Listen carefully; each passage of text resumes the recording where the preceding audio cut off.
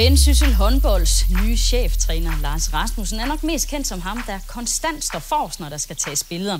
Den tidligere landsholdsspiller har deltaget i et utal af kendisprogrammer på tv, hvor han fører sig frem både med og uden tøj på. Lars Rasmussen er, som vi skal se nu, højt råbende, engageret og med store ambitioner.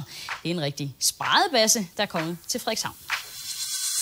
Nå, piger. Første hjemmekamp.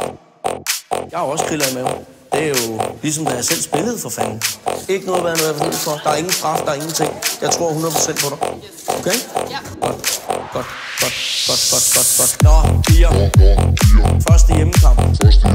Jeg har også kriller i maven. Det er jo ligesom, da jeg selv spillede for fanden. Ikke noget, hvad jeg er nervøs for. Der er ingen straf, der er ingenting. Jeg tror 100% på dig. Okay? Ja. Godt, godt, godt, godt, godt, godt, Det er godt. simpelthen for let, den de laver der. Hvad er det, der sker? Simpelthen, det sejler, mand. Hvad er det, der sker? Hvor er den nu? Ja!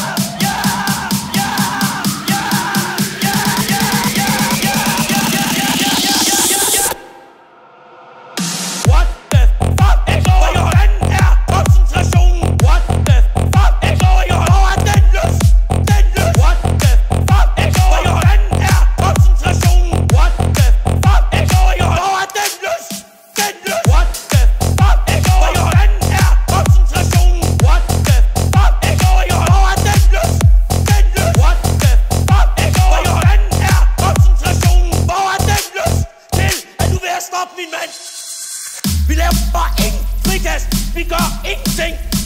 Vi laver bare ingen frikast. Vi gør ingenting. Vi laver bare ingen frikast. Vi laver bare ingen frikast. Frikast, frikast, frikast, frikast. Kast. De spiller rundt ind under 3 meteren, mand. What